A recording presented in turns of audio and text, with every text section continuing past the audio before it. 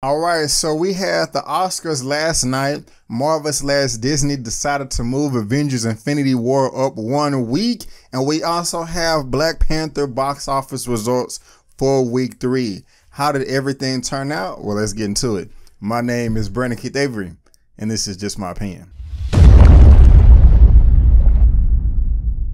Hey, what's good, everyone? Thank you so much for tuning in to another episode of Just My Opinion. I really do appreciate it. But before we get into everything, help your boy out by clicking that subscribe button. I've just reached 2,000 subscribers, so thank you very much. Help me reach 3,000, 4,000, 5,000 subscribers. I really appreciate it. Also, click the little bell so you can be notified when I make uploads and give me that thumbs up. Let's see if we can get this video to 100 likes. And since I'm asking you to subscribe, if this is your first time finding a video of mine, uh, I do movie reviews, I do film reviews, I also do spoiler reviews, and I also do trailer reactions. And every once in a while, I will just pop on camera to give my opinion on whatever I think is cool, whether it's some news like Black Panther's box office, how well that's doing, the Avengers Infinity War date being pushed up, the Oscars last night, which I'll touch on just for like a millisecond, and anything else, whether it's like my top 10 this, top 10 that, whatever. I just talk about things that I think is cool. And so the first thing that we're going to talk about today is last night, the Oscars for uh, 2018 Oscars for the movie year of 2017. Um, I still have not seen every film that was nominated for like Best Picture, like Thread and Call Me by Your Name, but I still uh, do plan on seeing it. Those, you know, some people's like, Bree, I saw your video last uh, year at the end of last year for your top 10 best movies of 2017, and I had a top 10 best and top 10 favorite. That is a difference. Why wasn't Call Me by Your Name? Um, I, I, believe that's the name of the movie on your list. I, I, I, didn't see the movie, so I can't rate on the film or judge it or compare it to others if I haven't seen it. But I I, have seen majority of the films uh, that were talked about last night. I'm very happy Kobe Bryant got him an Oscar uh, for the animated short. I forgot the name of it, but I didn't even know. I just saw him up on the stage. I was like, "Oh, what what the hell are you doing up there?" And then I was like, "Okay, you know, congratulations, Kobe." You know what I'm saying? Wasn't that fan a big fan of you in basketball, but that doesn't mean I don't like you either. But I do like the line where he was like, "Yeah," and uh, let me turn this down. I may be clipping here a little bit, so I'm sorry about that, guys. But he he made a line where he was like, "Yeah, some people just feel like that we should just be shutting up and dribbling or whatever." And I was like, "Oh, how, are you talking about that uh, Fox Four uh, news host that's stupid that made that idiotic comment as a, a reference to LeBron James?" So congratulations there, sir. I also just want to say congratulations to uh, Jordan Peele, who is the writer and director for Get Out that came out February 2017. He won the Oscar for the best um, original screenplay. I can't remember if it was original screenplay or adapted screenplay. I, I think it was original. Uh, Frances McDormand for her, she won the Oscar for her leading role in uh, Three Billboards in Ebbing, Missouri. That was well deserved. Also, Gary Oldman got his first Oscar for um, uh, gosh, what is the name? Dark Darkest Hour, uh, playing the role of Winston Churchill. Well deserved film. I mean, well deserved award. If uh, Daniel Day Lewis would have won for Phantom Thread. I wouldn't have been able to comment because I have not seen that movie. But I do really think think that um, I really do think that Gary Oldman deserves to win that. And then for Best Picture, you had what was it? Um, the Darkest, uh, not the Darkest Hour, The Shape of Water, directed by Guillermo del Toro. And so I really do agree. Well, I don't want to say I'm not upset about that role. I'm not upset about that win right there. Uh, I liked the film. It was in my top 10 best of uh, 2017. Um, but if another film would have won, if three billboards from three billboards from uh, Ebbing, Missouri, if that would have won, I wouldn't have been mad. I wouldn't have been upset. I wouldn't have, um, you know, hollered or cried or anything like that. And you know, actually, that's all I was gonna talk about. Um, but I kind of want to talk about the Oscars a little bit more. But I don't have all the information in front of me, and that's what I'm trying to look at right now because uh, we got best screen screenplay, best leading actor, best leading actress, uh, and best um, oh the uh, best in a leading supporting role for women was Allison Janney with her role of in I, Tonya. That was well deserved. She she did a great job there. What was the um? Oh gosh, I should have. I, I didn't. I didn't think I would. I thought I was gonna talk about those little three categories, and that was gonna be it. But I'm having fun right now. So who won?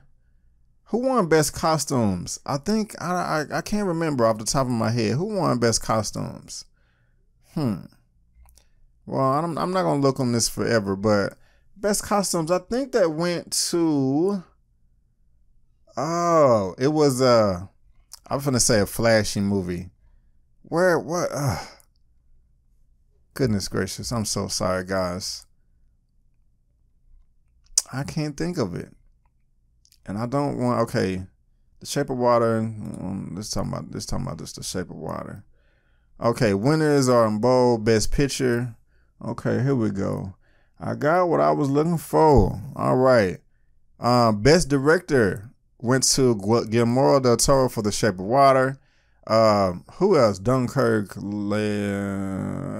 I'm not mad at that. Probably, yeah, I'm not mad at that. Best actor, good. Gary Oldman. Best actress, okay, got that. Best supporting actor, Sam Rockwell, and Three Billboards in Ebbing, Missouri. Yes, um, I, I I saw this last night. I just don't remember it off the top of my head.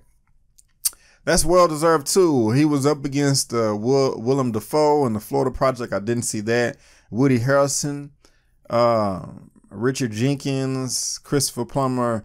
Yeah, only thing that I couldn't uh, comment on is against Willem Dafoe, Willem Dafoe because I haven't seen the Florida Project. If you don't know who Willem Dafoe is, he first popped on the radar to me in 2002 with the Spider-Man movie by Sony. That was uh, many many years ago. Best Supporting Actress, like I said, Allison Janney, I, well deserved. Best Adapted Screenplay is James Ivory for Call Me By Your Name. I did not see that movie. Best Original Screenplay, like I said, is Get Out, Jordan Peele. Um, best cinematography is Roger Deakins from Blade Runner 2049. That movie uh, bored the hell out of me. Bored the hell out of me. I was very um, tired when I saw that movie. Apparently, I don't know. Best costume design was Phantom Thread, and Mark Bridges. Best editing um, Lee Smith. Now, to me, I'm not mad at that, but I would have gave it to uh, Jonathan Amos and Paul Machliss uh, for Baby Driver. Uh, I would have gave it to that. Best hair and makeup, Darkest Hour. Okay. Uh, I could have given a wonder. I didn't see Victoria and Abdul. Best original score, Shape of Water. Who could that? Uh, okay, I'm not mad at that. Best original song. Yeah, yeah, yeah. Um, best sound editing, Dunkirk, visual effects. Um, visual effects probably could have went to Guardians of the Galaxy Volume Two or War for the Planet of the Apes. Of course, best animated feature, Coco. That I would have been pissed if they didn't win that. I didn't see no foreign language films. I didn't see no documentaries, shorts. But okay, so yeah, uh, just wanted to run over there. Uh, I enjoyed the show last night. I think Jimmy Kimmel did a great job. And so we'll see who's hosting the next uh the next Oscars next year. Next, Avengers Infinity War has been moved up a whole week. Yeah. Yeah. All right. That's my little happy celebration dance in my chair. Um, it was supposed to be coming out May 4th of 2018, but now that it's coming out May uh, not May, April the 27th of 2018, which is great. That means that it's going to be released around the world all at the same time. Now, people, I, if a long time ago, it was like I didn't understand why American made movies would be released in foreign countries earlier than the American release. It didn't, I didn't get that, but it, apparently it has to do with like marketing and, you know, buzz and things like that. Um, you know, if, if it's doing well over there and everybody's raving about it, that that'll just entice people over in the United States. I think that's the answer. If I am incorrect, uh, please let me know down in the comment section below. That is what the comment section is for. Um, to make sure ain't no fuzz on my chin.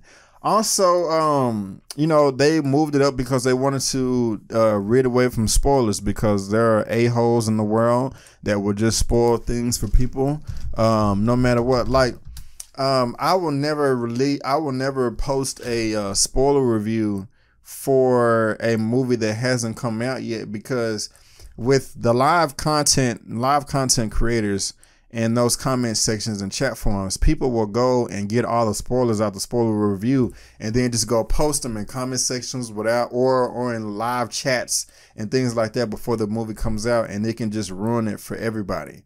You know, so that's just not cool. Now, I don't believe anything else is coming out on April the 27th. Um, if it is, I feel sorry for those movies. Um, some movies that I do feel sorry for, uh, let me scroll down here real quick, is Rampage.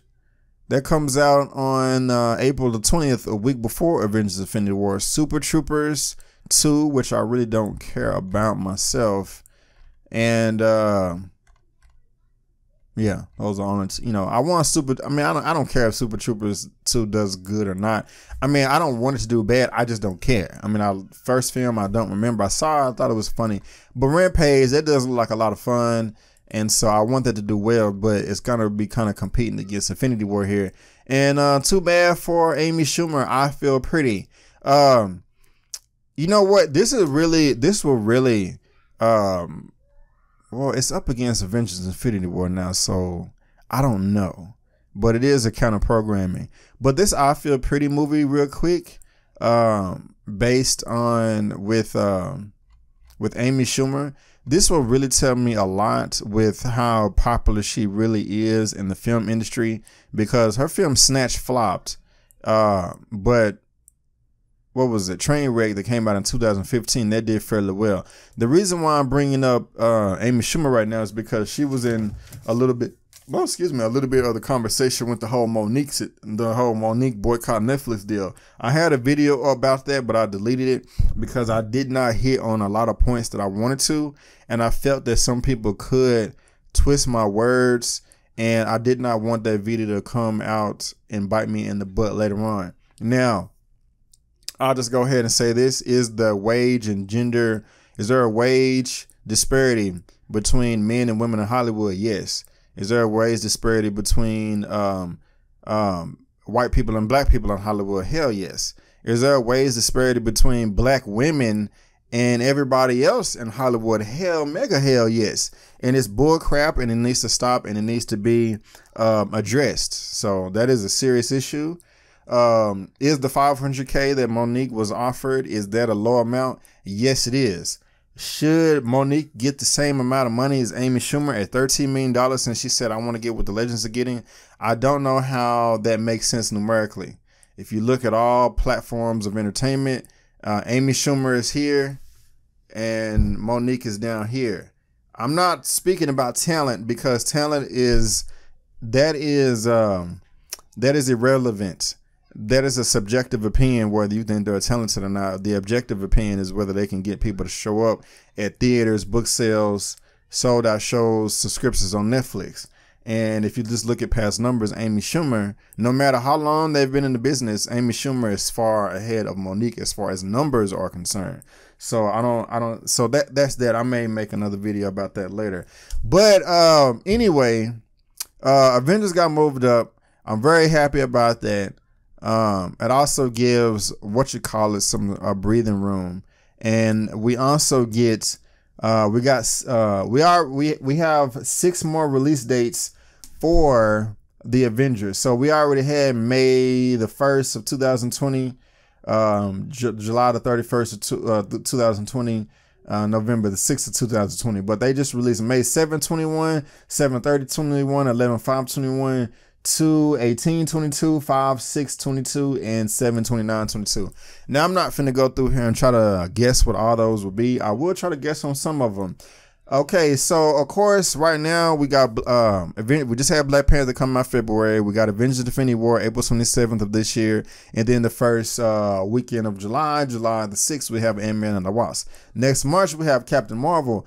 Uh, next March, uh, May we have Avengers four, and July 19th, July 5th, 19, after that, we have uh, Spider Man Homecoming 2, uh, which is going to be change something else. Okay, the next movie after that is going to be May the 1st of 2020. I am very confident in feeling that that is going to be Guardians of the Galaxy 3.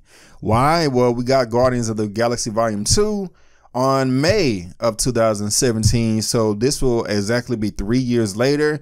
Um, there was a there was just about a three year gap. It was really like two years and you know eight months, but we're just gonna say three years between August August 2014 for Guardians of the Galaxy Volume One. Three years later, we get you know this is exactly three years. So I'm very confident that we're going to get um, you know uh, I lost my train of thought. Guardians of the Galaxy Volume Three on uh, next oh, May of 2020, July 30 uh, 31st of 2020. I believe that it's going to be the Black Widow movie. Um, that has already been confirmed um, by Chris Evans, but he could have just been talking. He doesn't necessarily make the decisions, but I don't think he would just release that information just for the hell of it. So I think that's going to be that time. Um, also, um, people have been clamoring for a Black Widow movie for the longest. And then uh, November of 2016, I think November 6th of 2020, I believe that is going to be Doctor Strange 2. Uh, we forgot the first Doctor Strange November of 2016. Uh, so this will be a four year gap. Um, but at the same time, um, we do need another Doctor Strange. Maybe his villain will be Nightmare. Okay, so that I also uh first 2020 Guardians of the Galaxy Volume 3, Black Widow, and then Doctor Strange 2. May uh May 20 May 7th of 2021, I think that may go to Black Panther 2. Now there is a date for February 18th of 2022, Black History Month. It could be Black Panther, but that will be four years. I don't think they want to wait four years for Black Panther 2. Uh, with the success of Black Panther at the box office, which I'm gonna talk about in a second, it may go there. And then after that, I don't know, guys. We're just gonna have to wait and see. Maybe another Spider-Man movie. Um, who knows? I don't think they're gonna make us wait three years for Spider-Man. He's too big of a character and has too big of a rogues gallery.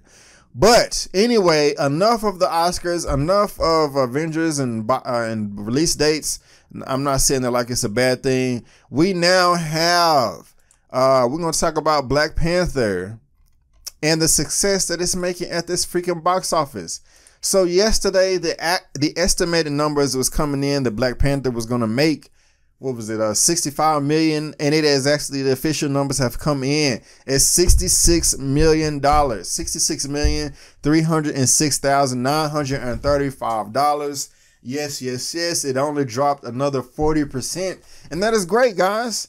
Um, and, and any of the drops, it has not dropped more than uh 50% in either of uh the weeks. And this is by Brad Brevet at Box Office Mojo. It was yet another monster weekend for Disney's Marvel's Black Panther as the superhero feature became the third fastest film to ever reach 500 million domestically. And it is 500 million domestic. The only other MCU film that has done that is Marvel's The Avengers in 2000 uh, 12 at 623. The weekend's new rivalries came in just a bit short of Mojo's pre-weekend forecast. Red Sparrow came as the runner-up. Uh, I don't care about Red Sparrow. Um, with an estimated 65.7, Disney and Marvel Studios Black Panther top of the weekend. Um, straight become the third well, I can't read. Box office for the third straight weekend, becoming only the third film in the MCU to accomplish that feat over the first three weeks. The others being Captain America, the Winter Soldier, and the Avengers. As noted above, the film topped 500 million domestic, becoming the third. Blah blah blah. Black Panthers. I don't. I can. Okay, I'm not gonna read his stuff word for word. I can analyze this myself. Uh, but Black Panther came in at number one, Red Sparrow number two, Death Wish number three. I have reviews for Red Sparrow and Death Wish up on my channel if you want to go check it out. Also for Game Night and Peter Rabbit. Um, Black Panther. So let me go here real quick to my rundown, my my showdown, my opening weekend showdown. Okay. So right now, uh, let's go to the weekend. So Black Panther the first weekend came in at 202, second weekend 111, and third weekend 66. It is beating every other. It is beating every other. Um, like okay, so this showdown I didn't explain that because you can't see what I'm doing. This is an opening weekend showdown against some of the best opening weekends of all time. Star Wars: The Force Awakens, Jurassic World, The Avengers 2012, Star Wars: The Last Jedi, and Black Panther. Um, Black Panther, which I've talked about in past weeks, has the fifth best op- three day opening weekend of, all time.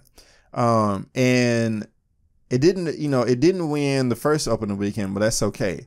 But the second weekend, it it beat every other of those number films I just released, except for The Force Awakens, um, and week two and week three, because week three Black Panther has sixty six million, Star Wars: The Last Jedi has fifty two million, The Avengers has fifty five million, and Jurassic World has fifty four million.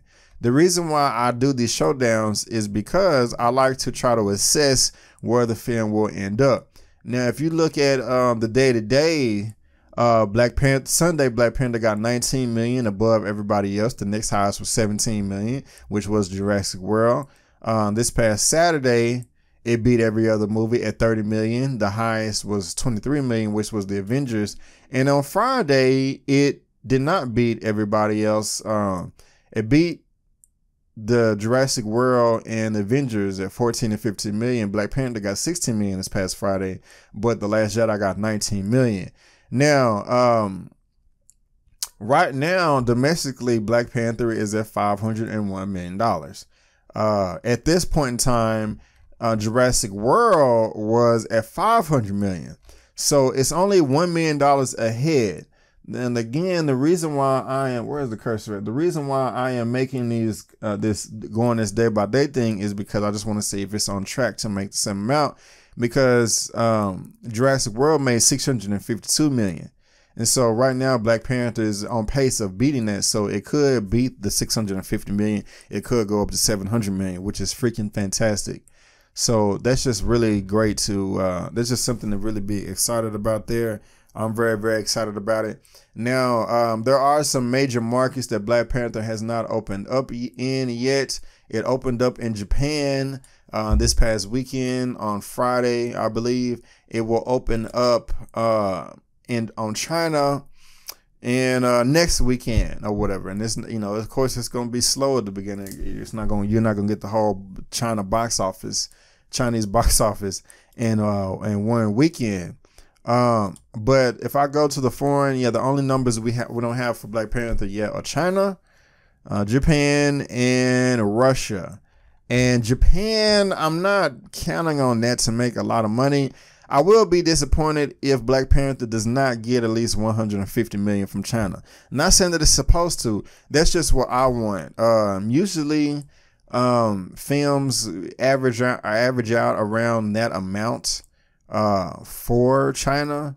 So if I go to all the previous Marvel Cinematic Universe films, let's go. So let's say Marvel's The Avengers. Okay, let's see what Marvel's The Avengers made in China. Oh, it only made 86 million. So, you know, even though China is the biggest, it's not the end all be all. But let's see what.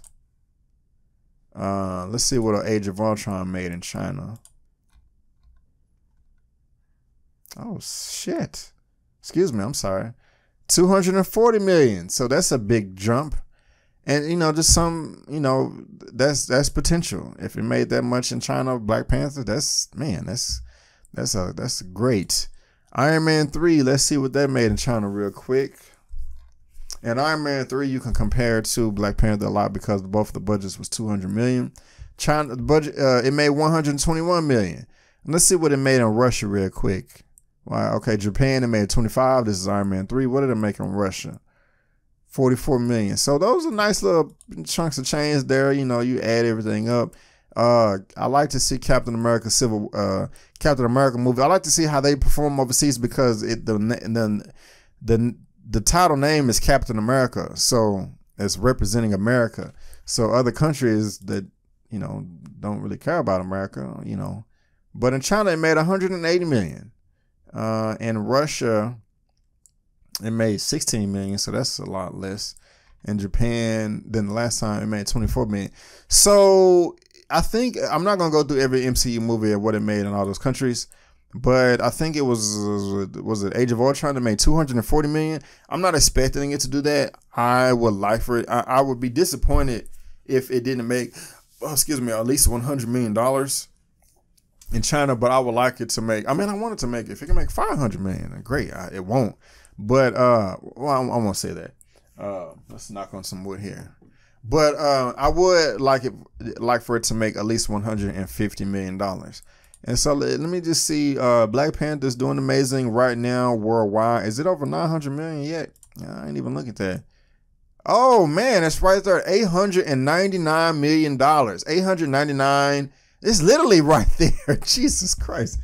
Oh man, let me uh, let me pull out. Let me pull out the the uh calculator. That's when I get the exact figure. Okay, 900 million. Let's do this. We having fun. Y'all can be, y'all can have fun with me and geek out and play with numbers and stuff. It is only $58,000, $58,079 from 900 million, which is amazing, amazing. Um, of course, it will reach a billion dollars by next weekend. Um, I am very confident by it. So by this time next week, it will make. Hey, where the hell is the cursor? I can't. Oh Lord. Okay, there we go. By this time next week, uh, it will make uh, a billion dollars. And one just reason I know that is because let me go to my open the weekend showdown. I'm gonna do the week the weekly box office. So if things stay consistent, it will make another $81 million domestically. Because the third, not weekend, the third week, um, Jurassic World made 81 million, Avengers made 74, Star Wars Last Jedi made 84. So I'm I'm assuming this past weekend it made 143 million. The week, not weekend, the week. Uh, so I'm assuming that Black Panther will make at least 80 million. If I'm just going to lowball at 75, but that's not including the foreign, all the not just one foreign country, all the foreign countries. So this time next week, Avengers will be at the one billion dollar mark. It is that is pretty much guaranteed, and you will see me dancing and celebrating things like that. And uh, I'm just right at 30, I'm right on the 30 minutes, so I'm gonna cut this video short, guys, because uh, I don't have nothing else to talk about. But guys, that is just my opinion, my thoughts, my reaction, my reviews on, you know, a little bit of the Oscars, you know, Avengers Infinity War being pulled up, and then the Black Panther success uh, rate so far. Uh, I'm so happy about Black Panther. I'm so happy about Marvel. I'm so happy about all this other stuff. They could have left out the CIA CIA destroying an American Revolution in Black Panther, but I may make another separate video because there are so many different opinions of this movie. Um, a new opinion is coming out. People are talking about Killmonger. They're just crazy to me, and I'm gonna have to address that because it keeps coming up. But the the film is uh the film is loved um, universally for the most part. But guys, that is just my opinion. What did you think about this video? Did you like it? Did you hate it? Did I turn you on? Did I turn you off? Do you agree with me or do you disagree with me? Let me know in the comment section below. Let's get this conversation going and keep it flowing. If you like this video, go ahead and give me the thumbs up. And if you don't, that's fine. Go ahead and subscribe to my channel. Go to my website, check me out there, bookmark it, and also look me up on social media. Facebook, Instagram, and Twitter. It's right there at the bottom of your screen, and I made it very easy by providing a link to all that good stuff down in the description box below. But guys, I just want to thank you again for tuning in to my opinion slash review or video opinion, whatever, of the Oscars, uh, Marvel, and the Black Panther box office. And before you go, don't forget that my name is Brandon Keith Avery, and that's just my opinion. Peace.